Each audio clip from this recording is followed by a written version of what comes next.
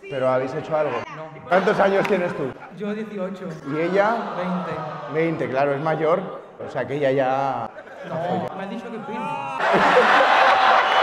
Carmen, ¿Qué pasa? soy el tío de Jesús.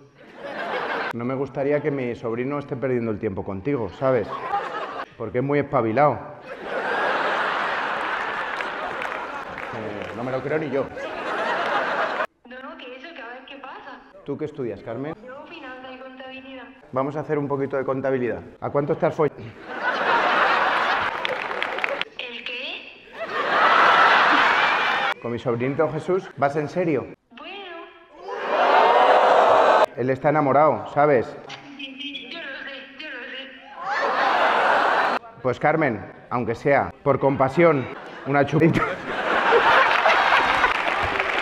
que yo también quiero.